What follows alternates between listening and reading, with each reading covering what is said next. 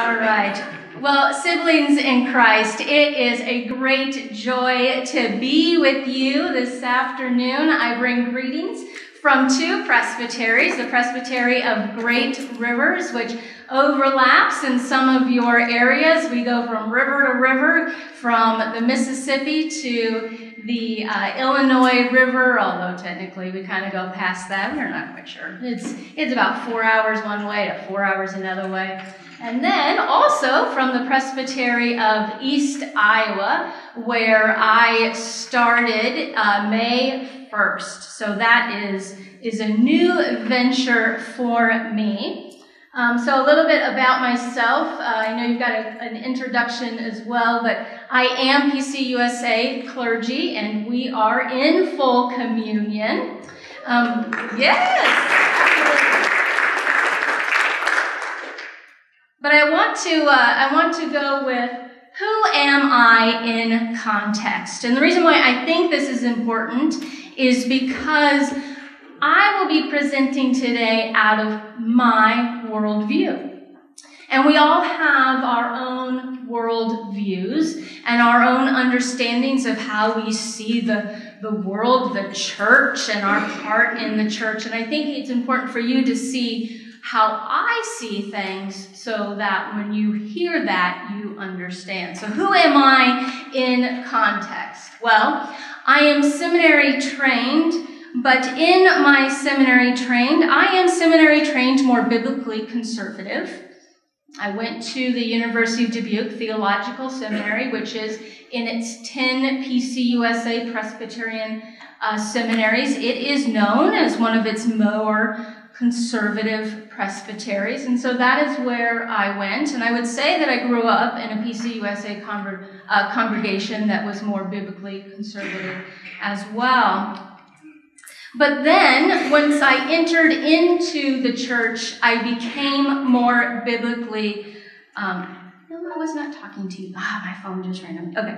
More biblically liberal. And what I mean by that is, as I began preaching, as I began learning, as I began entering into these conversations with others, something started to strike me as that can't be there has to be more.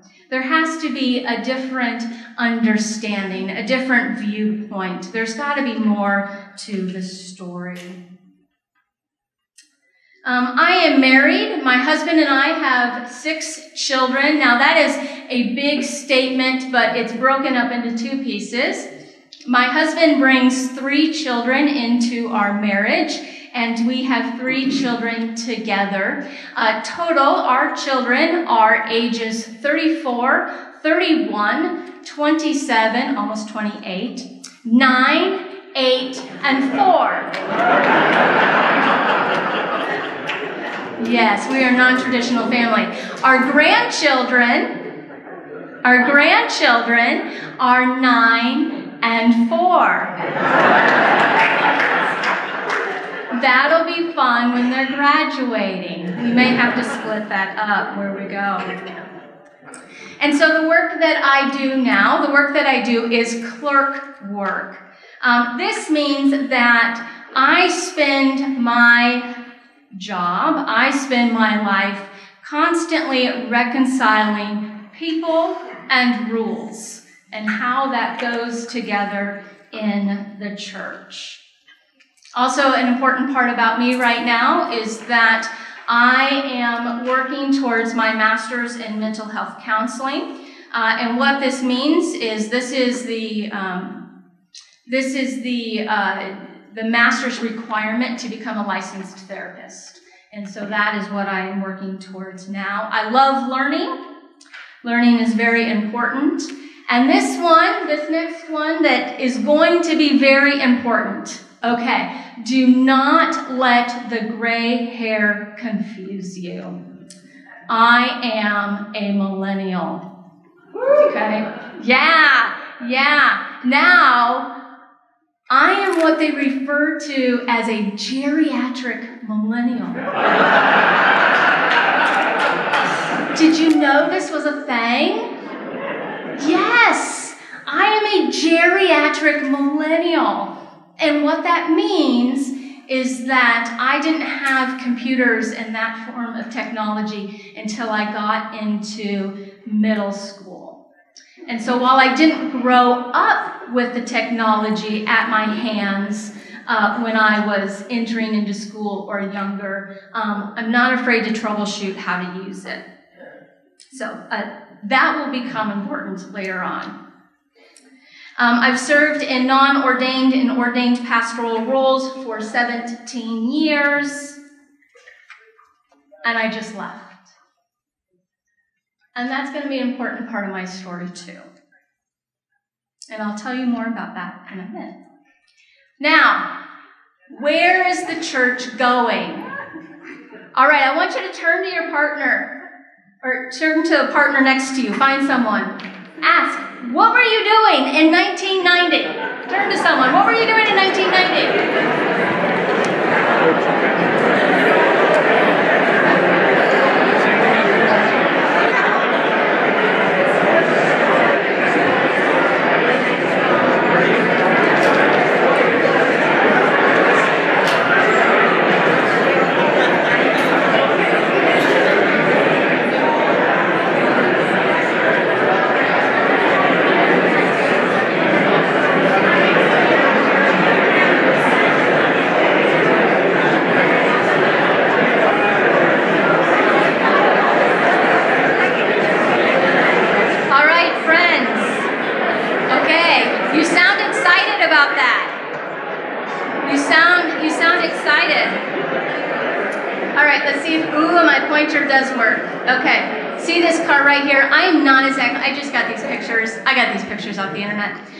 But these are all from 1990, and this is some type of 1990s car. Now, I'm not exactly sure what kind of car that is, but it looks a lot like what? Okay, see, I thought I thought it was I thought it was a Nissan. That's exactly what I was going to say. So my uh, the first car I drove was my mother's 1988 Nissan Pulsar with T-tops. Close enough? I'm good. Okay. All right, we're good. All right, so now when I asked you where you were in 1990, I saw that most of you were able to turn and give some type of um, conversation about where you were in 1990. Now, are you ready?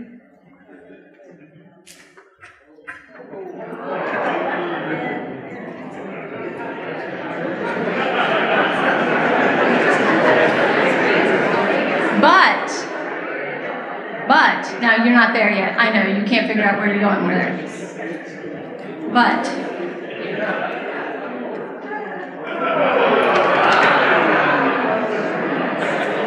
yeah.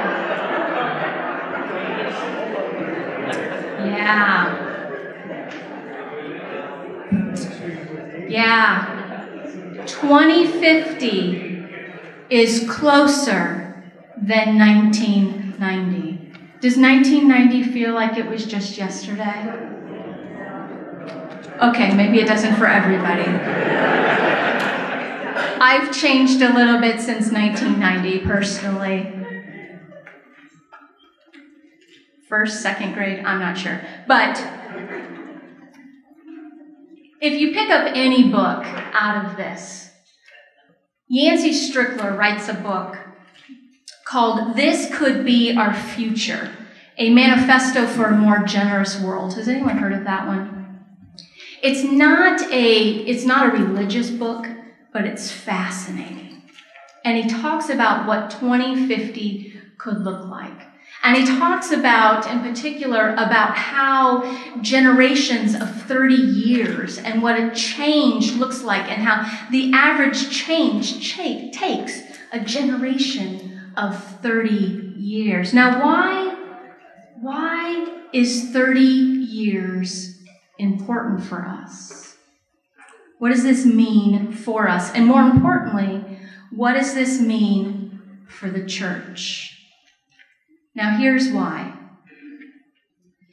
In the year 2050, the United States majority will not be white non Hispanic. In the year 2050, the United States majority will not be able to pretend to be the center of Christianity. Yeah. That feels startling to us, but remember that 2050 is closer to us than 1990. And in 2050, only one fifth of the world's 3 billion Christians will be non Hispanic white.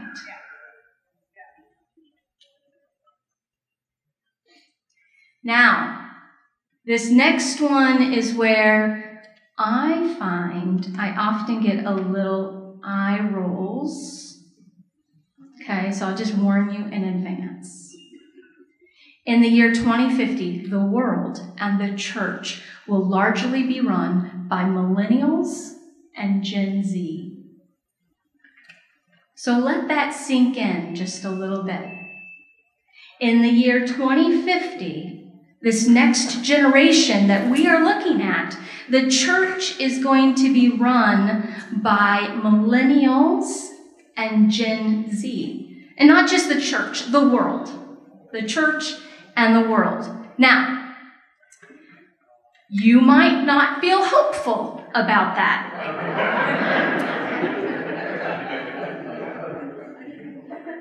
I do. And here is why. But first of all, we have to get through some hard times first. Fear. Change is hard. I don't know about you all, but in the Presbyterian church, we have a joke that goes something like this. How many Presbyterians does it take to change a light bulb? Change? Who said anything about change? Ah, right? We don't want to change. We don't want to do anything that's going to take us out of our comfort zone. And more importantly, change asks us, but what about me? What am I personally going to have to do to allow that change to take place? Now, here's the thing about saying that the next generation of millennials and Gen Z are going to be running the church in 2050 is are we who are running the church now, and I'm using collective we, are we willing to hand the church over? Are we willing to prepare the church and hand it over? Ah, that feels a little frightening, doesn't it? Now, how can we have to ask ourselves personally, how can I be hopeful and adaptive at the same time? Now, I'm going to be honest here. Richards and O'Brien says, generalizations are always wrong and usually helpful. okay? So I'm making some generalizations. I'm going to make some generalizations. I know that in these generalizations, they're not always true. Okay, there are going to be some outliers, and when I say something about one generation, such as the millennials, it might not stand for every millennial. I'm sure every one of you could stand up and say, I know a millennial who does not fit into that category. Okay, same for baby boomers, Generation X, all of it. Like, I'm aware of that. So we're going to make some generalizations that are probably wrong but helpful. All right. So, what does it mean for many of our mainline American churches, such as the PCUSA, for which I'm a part of, such as the ELCA, if it is run by millennials and Generation Z? Now, here, is where you remember earlier about my worldview that is constantly trying to reconcile rules and people. Well, millennials don't follow rules. Millennials put ethics above rules. Millennials look at a situation and say, what is the ethical way to move forward? Not just what has someone told me I need to do. That is the rule. Now think about how that might play out in the church. Because we have a lot of rules, don't we? Don't we have a lot of rules? I know in the PCUSA we have a lot of rules. And it is my job as the stated clerk of two presbyteries to constantly interpret and make sure those rules are held up. But the millennials say no. Morals and ethics are first. Now, statistically, statistically, and again, this is a generalization, statistically, millennials are the most inclusive generation. They are the most inclusive generation. What does that mean for our church? Now, I'll tell you that in the PCUSA, we've gone through some hard times. You and the ELCA denomination, you have, uh, you're a few decades ahead of us. Our siblings in Christ in the Methodist Church are going through some of that strife now. It's been hard. It's been hard to move forward.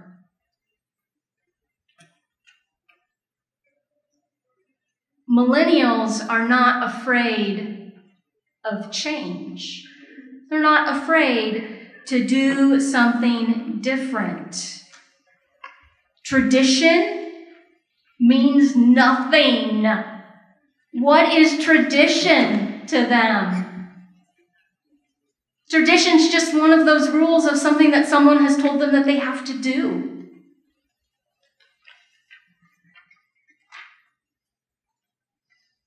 And lastly, millennials are more socially aware, globally aware, earth conscience. They are aware of what it means to care for the world, to care for the environment, to care for one another. Now, that again doesn't mean that there are no generations that do that before millennials, but it just means that statistically, millennials are doing that at a larger rate than the prior generations.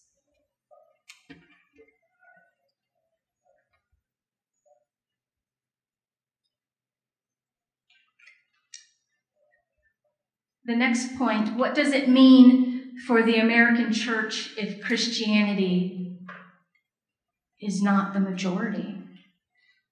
Because, friends, we are entering into a time when we cannot claim, and not just whether or not it's true, but we seriously cannot claim that we are the majority religion in this country. But I think, I think that we are about to encounter something even greater than just not being the majority religion in this country. I think that what we have seen in our climate, our religious religion, and our climate in the last five to ten years is that I think we could see a big split of Christianity. And I think we will see that along political lines.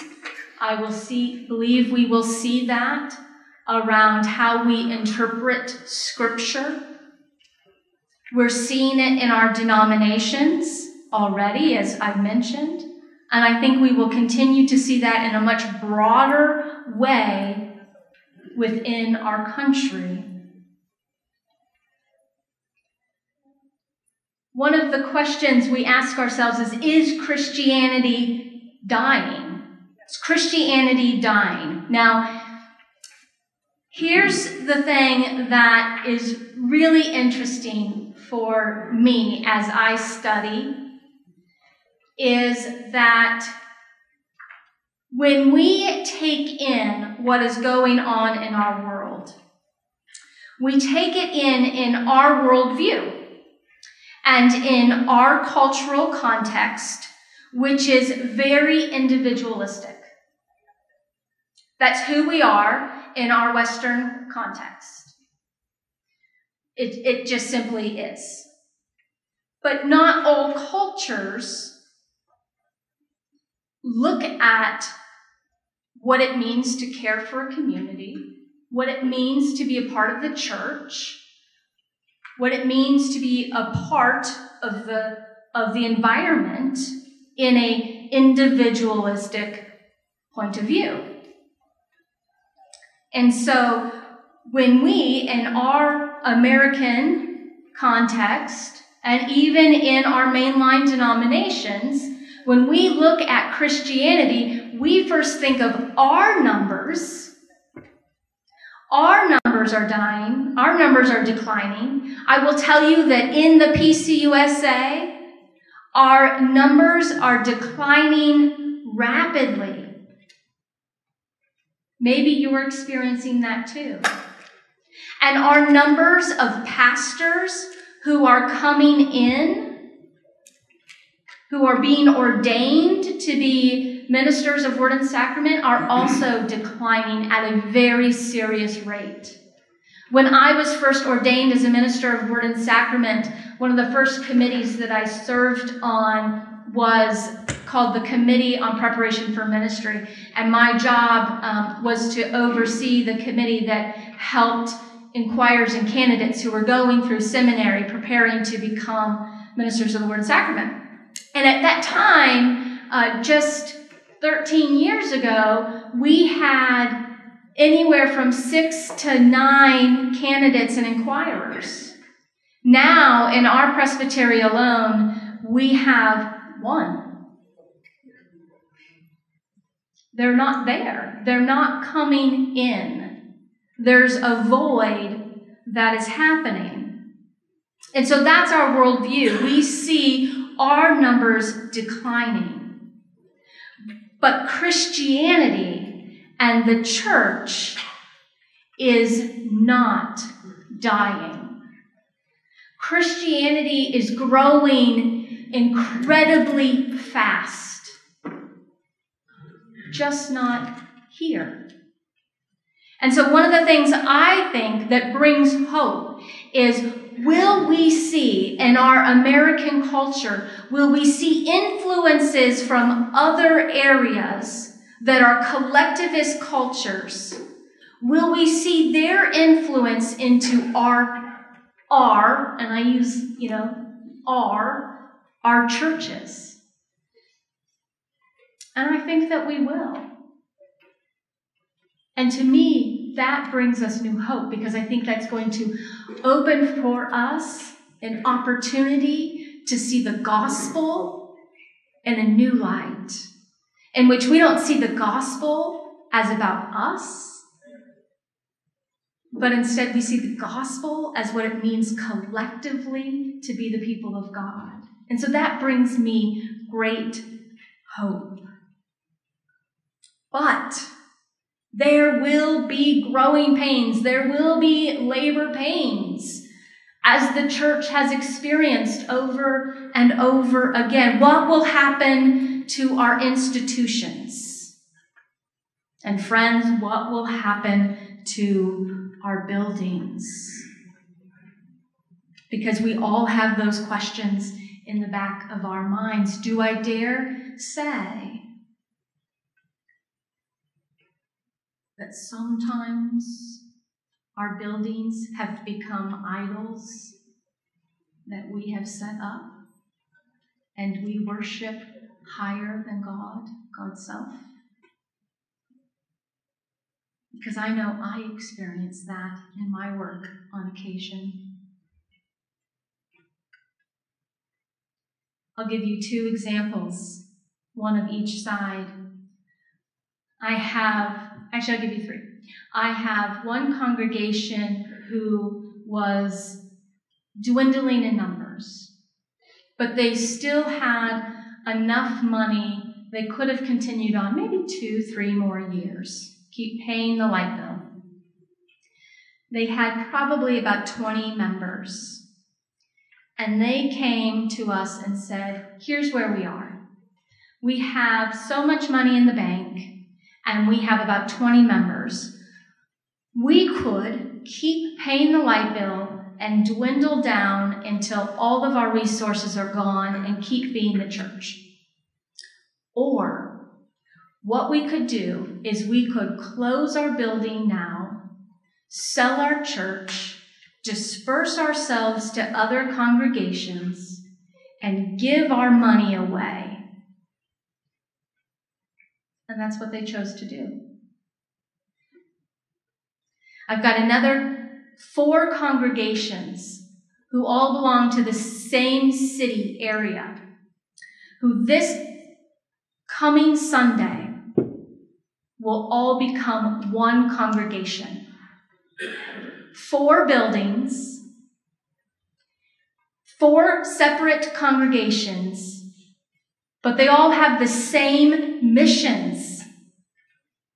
And they said, they finally said, What are we doing? Why are we all struggling to operate differently when we all have the same goal? And so three of those churches have sold their buildings and friends, we are in a market to sell. Three of those churches have sold their buildings, and this coming Pentecost Sunday, they will be one, chartered as one congregation. Praise be to Jesus. I've got another congregation. They've been approached to combine with another church. They have nine members. And they said, We've got nine members. Three of them are in the nursing home.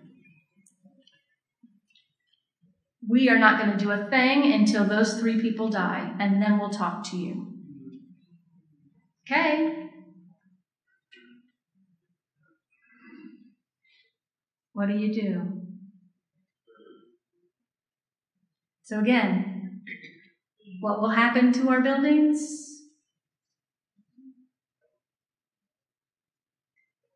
How is God working?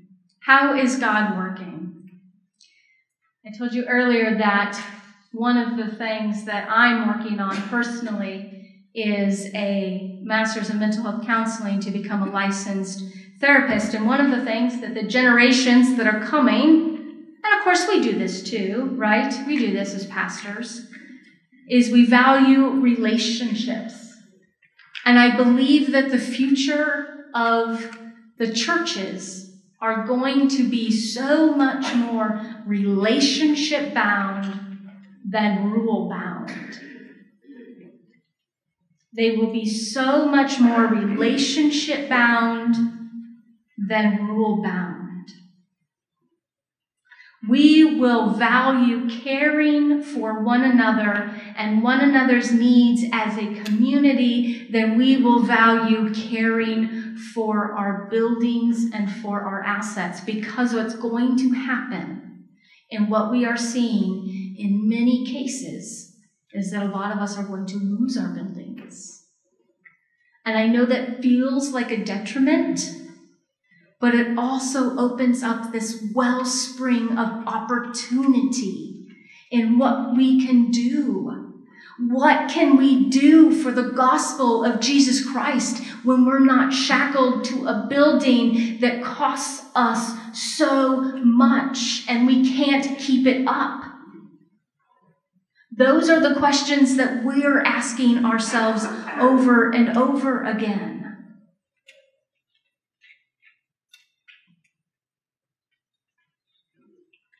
We've all heard it said that there's this large group of nuns. Now, the first time I heard this thought, I thought it was N-U-N. What? What are we talking about? Nuns? This large group of nuns.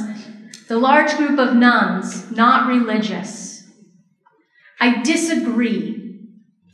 I absolutely, wholeheartedly disagree that there is this huge group of nuns out there. What I believe is that they have been hurt and traumatized by the institution of the church. And they have vowed that they will never set foot in a congregation again. And that is where I believe our calling to reach out and value relationships over rules and relationships over buildings is going to come for. I don't believe that there are people who don't believe out there anymore, this large group. There are some, absolutely, there are some. But I believe that they are hurt. And I believe that's why we see this group of people who have written off the church. It isn't God they don't want. It's the institution. So what are we, pastors, members, lay people, what are we going to change and do for the future of this church? To bring them back, maybe not into the church building, but into relationship with God? How will we show them a God who is gracious and compassionate and merciful and kind and loving? That may or may not have anything to do with a building or with a congregation that meets on a Sunday morning.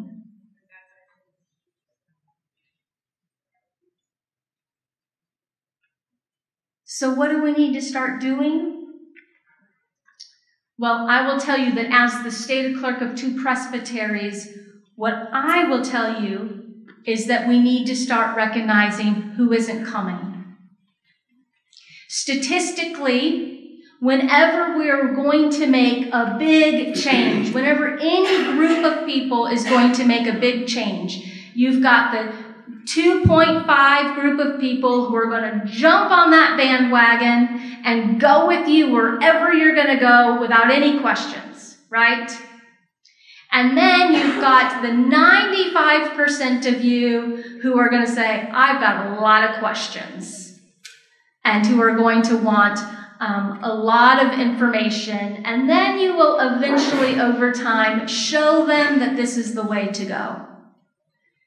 And then you've got the 2.5 people who are never, percent of people who are never going to come with you. You are never going to convince them. And pastors, I've been a pastor, you know who they are.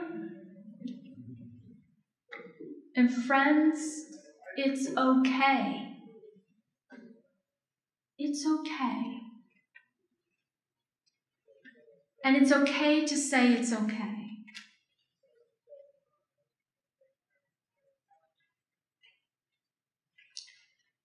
And when we start recognizing who isn't coming, like that church that I said that's got nine members, we look at other ways that we can start combining mission and we can start combining congregation. And I appreciate your sister, your sister congregations and the ways that you can combine mission.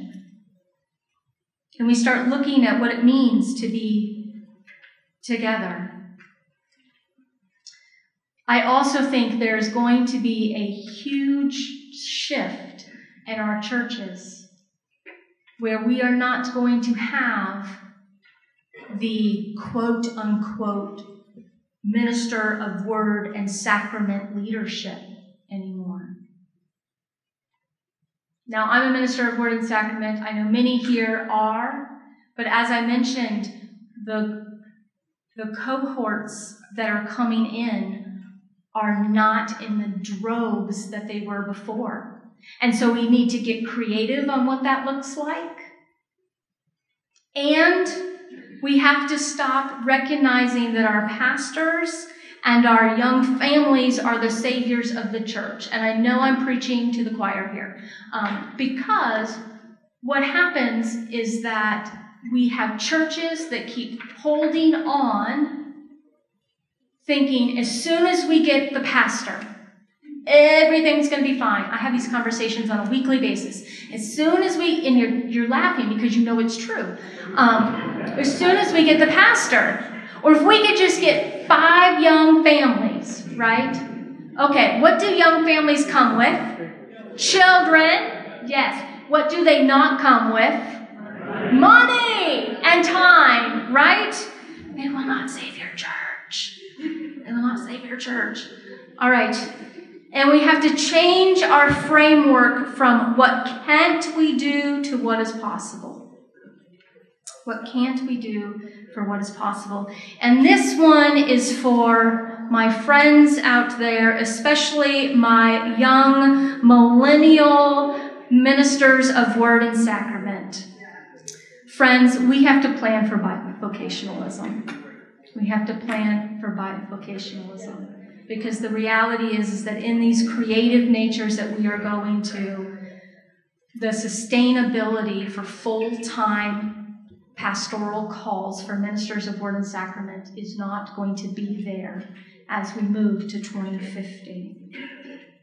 Now, some of that seems dreary. A lot of that seems dreary. That's what you asked. You asked me to come say my future. What I okay, okay. Me. So what do I?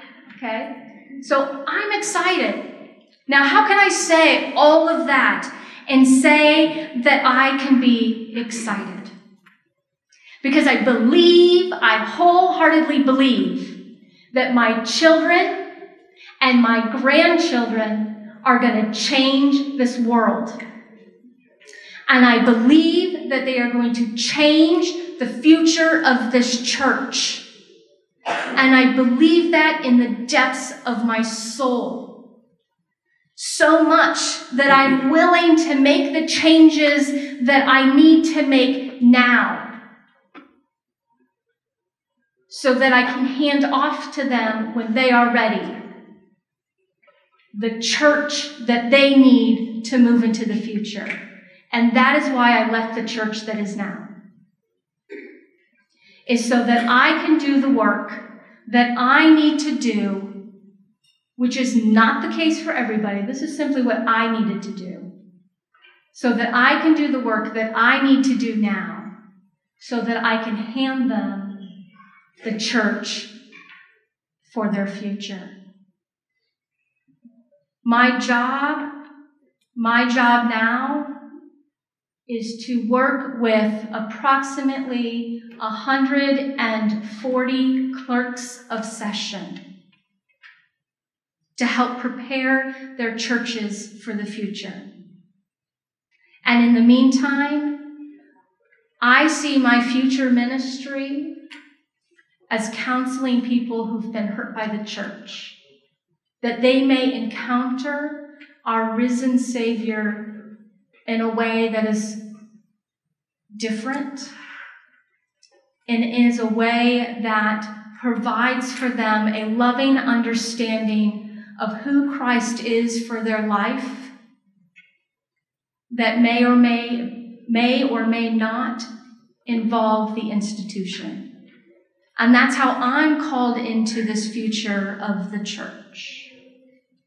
And I know that each and every one here today, no matter how young or how many years you have, we all have a calling into whatever this future looks like. And that excites me because I know that Christianity is not dying. I know that while our churches are going to go through some significant changes, and here are some resources that are some of my favorites. I have hope. I have hope. And I've got five minutes left. Should any questions? I don't know. Well, first, let's thank her for, for this.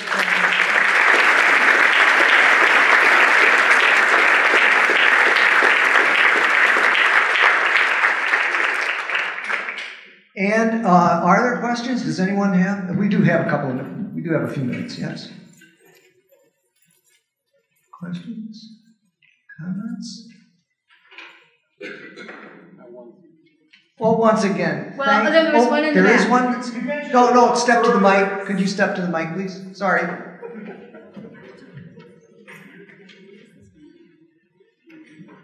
You mentioned a book earlier as you started your presentation. Could you give us that resource also, please? The book that you were talking about.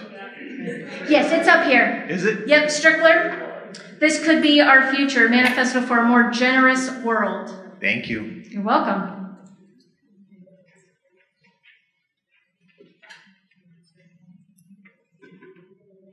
Yeah, um, just just briefly. Um, so, uh, and I, I kind of talked a little bit about. Um, so the bottom one here is Phyllis Tickle. Has anybody read her book, The Great Emergence? Yeah, she talks about the rummage sale and how the church goes through the 500 years every 500 years and how we're way overdue. I think that's what we're seeing. Yeah. So, those are just some of my recent resources. Go ahead through the mic.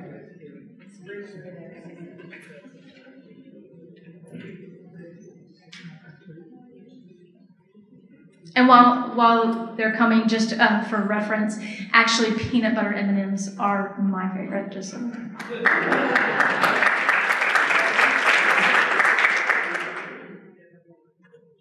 One of one of my pastors said to me one time that uh, she thought that the you know young people are not the future of the church; they're the church now. How do you think that, um, especially mainline churches, can heed those words and make sure that the church is a, an inclusive, welcoming place for young young adults?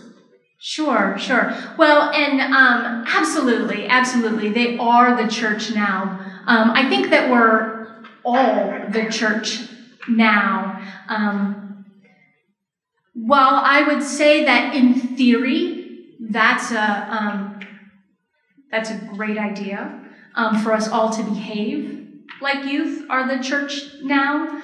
Um, the reality is is that most of our congregations don't behave that way.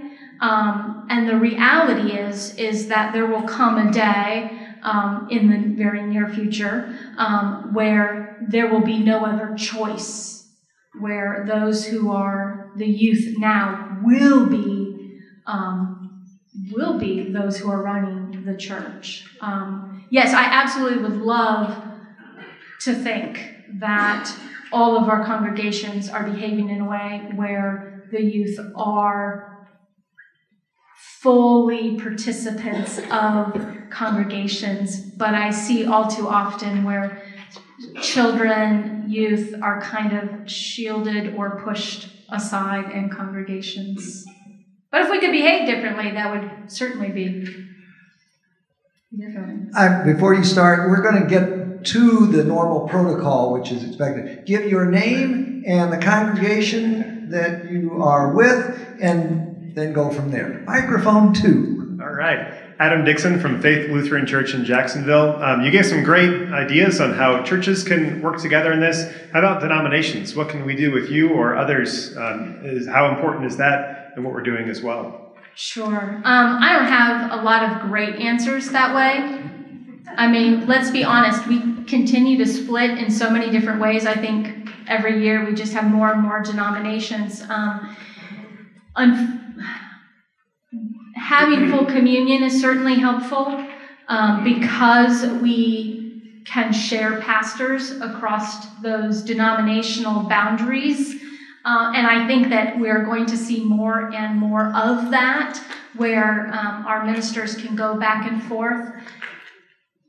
I think that there are probably missional ways we could partner better Um, unfortunately, what will probably end up happening is that either some of our mainline denominations will get to the point where they're no longer sustainable and will be absorbed in some of to the other mainline denominations, um, or they will join for those same reasons.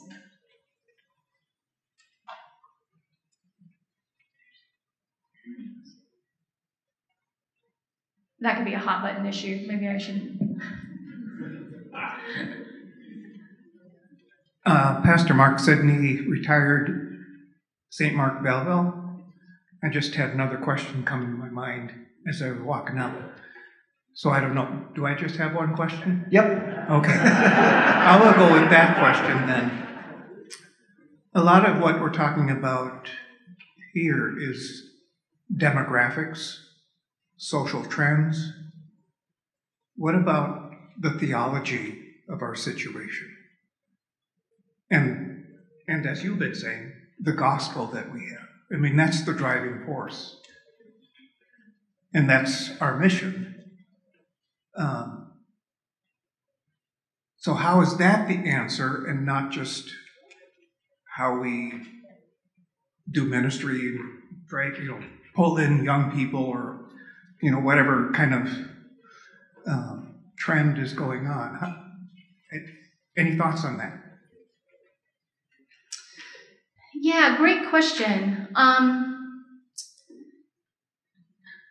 I think that in some ways we have to see them as almost almost connected um, because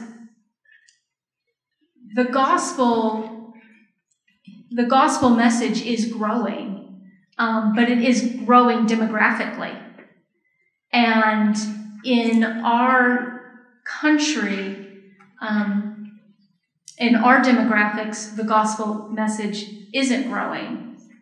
Uh, and so, how do we hone in and understand what it looks like where the gospel is growing? I think, you know, the and I might not be answering your question correctly. I know what I'm trying to say in my head, but maybe not out loud as well. The reality is the global south um, Christianity is growing at a tremendous rate in the global south. Um, and and yes, it is it's bound by demographics, um, but it's the the rules, I guess you could say, the rules for Christianity in the global south are very different than the rules for Christianity here in the United States. And you know, we might we might see a need to care for another, you know, like for example, um, you know, we might see a need to know that there's a, a, a, a family that's in need, right? And so here in the United States, if there's a family in need, we might help them out by um, by giving some money or giving some food or doing something along that lines where in some parts in the global south the gospel would see that almost sinful that we wouldn't take that family into our home and and feed them our own food and and house them under our own roof and so the rules of christianity almost become different and so when I use demographics to explain how Christianity is growing, it's because those demographics really do lend to how it grows so differently. Does that answer or nothing? Or maybe we just a need little a, bit. Yeah, Okay. I think more conversation. Yeah, sorry. Thank you. Good. This will be the last one.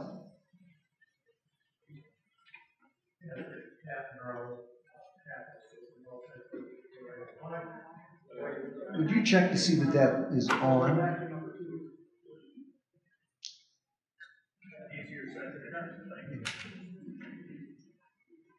See, we even have rules about what microphone to use. Uh, Pastor Pat Monroe, chaplain, Lutheran Hillside Village in Peoria, member of St. Paul Lutheran Church in Peoria. I have a simple question. What's a stated clerk? Oh, my, that is not a simple question. That is not a simple question. Let's see, what do my many roles entail? Okay, so I'm the parliamentarian of two presbyteries. Um, I teach parliamentary procedures. Um, I run all disciplinary cases, um, so I do all the judicial process. I am uh, I serve as a resource person for all the committee work, and um, I keep all committees in check. I make sure that everything done is done decently and in order. I um, I help with a lot of property procedures. Um, let's see. I yeah. It is a lot of rules. My life is bound by rules, and yet at the same time, same time it's not. Yeah. Very good. Thank you. Thank you.